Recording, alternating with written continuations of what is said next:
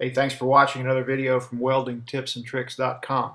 I have a project coming up on some really thick, uh, pretty thick anyway, a half inch and thicker, half inch and three quarter aluminum, and I'm going to use this Ironman 230 with a spool gun for it. So, uh, last video I did on the Ironman, I did I tried it out on some steel first, and uh, here is the Ironman running a open butt root and some 3 8 plate, got a really smooth arc, a really wide sweet spot, very easy to dial in the settings there.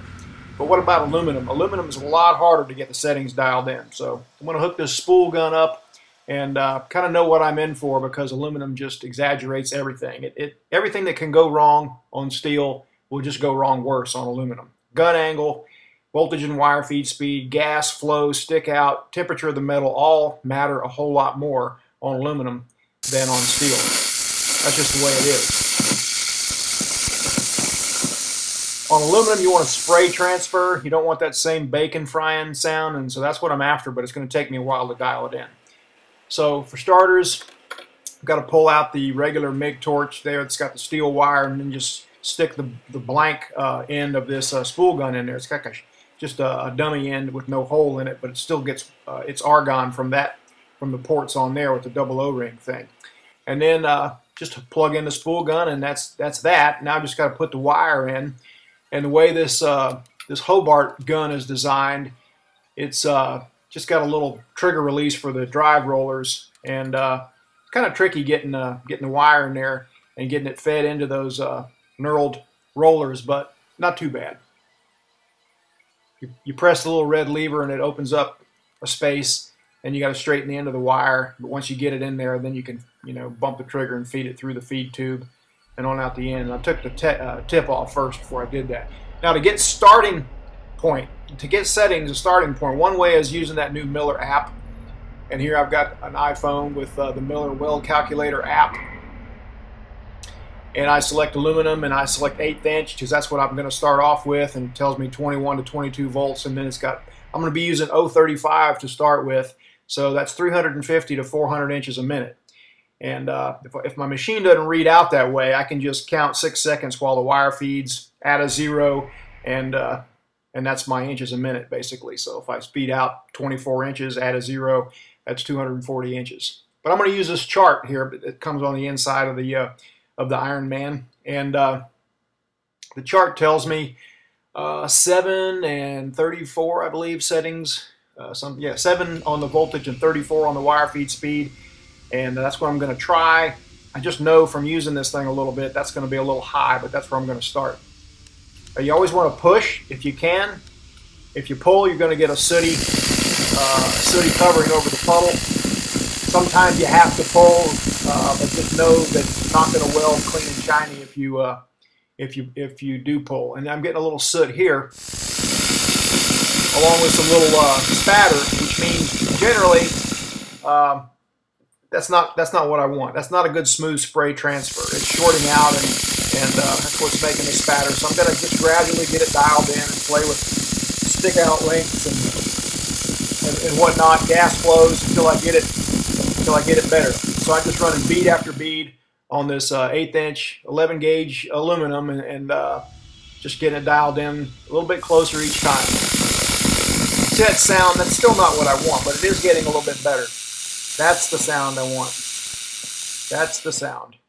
So that uh, that was the eighth inch. Then I want to swap over to 364 wire and weld on some of this thicker stuff, this uh, quarter inch and thicker stuff. So uh, someone asked me to kind of show hand positioning a little bit more. So I'm I don't have gloves on here so that you can see kind of a way that I would hold the torch and uh, pivot on the back of my hand so I can make quite a long run just pivoting like that and, and still hold really steady. That's the settings it recommended for the 364. That's too much argon flowing. That's why you see all those all that erratic arc and everything, and also too much wire. And all those BBs. That means it's not a very efficient transfer of metal. It's not a spray transfer, but that's what it recommended. So I'm going to trim it down here a little bit. Like I said, from 34, I'm going to go all the way down to maybe uh, 22 on the wire feed speed. And uh, you know, just run some more beads and, and uh, try to make progress.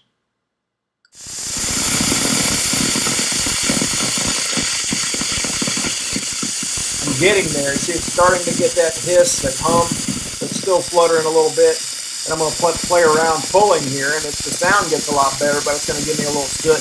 You can see some oxide floating around in the puddle there. It doesn't necessarily mean that there's porosity or anything in there, but because uh, it might clean up just fine, but that's not ideal. But I'm, I'm playing with both ways just so I can learn here. Again, that's the sound I'm looking for. For some reason, uh, pulling it just worked better as far as that sound, even without changing anything. But I'm, I'm just tweaking the tweaking everything: the gas flow, stick out length, gun angle, all that until I get this nice smooth spray right here. That's what I'm after. All right, so that's that's fairly close. That's getting settings are fairly close. So I've got another piece of scrap here. It's roughly uh, 5 sixteenths and some of it's quarter. It's a scrap piece, and uh, I'm going to run a, a, bead down in there. And so I'm, I'm close. The sound is more like what I want. It sputters occasionally, but you know if you get it too much spray where it's really smooth, the sweet spot's not very big, and it'll actually burn that wire up into the tip. So there's not much room to play with. By the time you get it really smooth spraying like that, you trim back the wire a little bit more, and you're, you're burning up tips. I'd rather have a little a little sputtering here and there and, and not have to go through tips. And again, I may have to pull on this uh, on this fixture I'm going to build, so I'm going to do a little practicing pulling and see how smooth that. That's the sound I want, but again, I'm going to have some soot on that.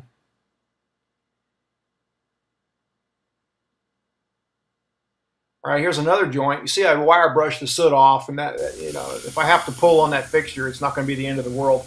It's a weird shaped thing, and I'm going to have to reach in and, and get to some things. So I'm doing the I'm doing a little practice runs here, so I won't have to practice when I get to the building the fixture. See, I didn't change a thing. This is cool metal now. I let it completely cool off. That's kind of the way aluminum is. Just like, you know, temperature of the metal makes a huge difference. All right, after running that bead, I'm just going to run this short run on the corner now, but the metal's all hot. Now listen.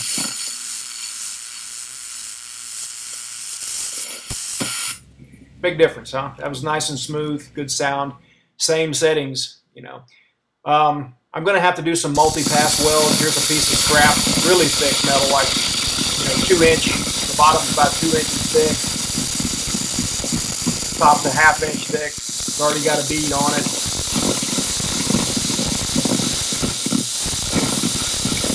I'm just going to run a bunch of passes here, kind of tweak a little bit. See, the metal was cold and uh, not changing the settings or anything, not changing the stick out or the wire feed. Uh, it takes it a while to heat up and run smooth. So a good preheat on really thick aluminum uh, goes a long way. See, by the time I get to this last bead, it's starting to settle down.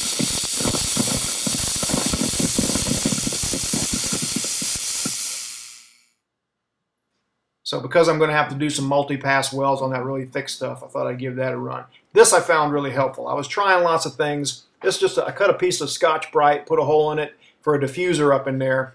I've done this with TIG before with good results and able to stick the electrode way out.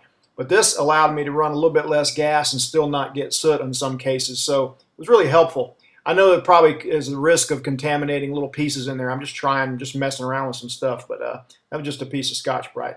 Next thing we're going to do is add 50-50 helium. All right, that's it for today. Thanks for watching. Visit weldingtipsandtricks.com.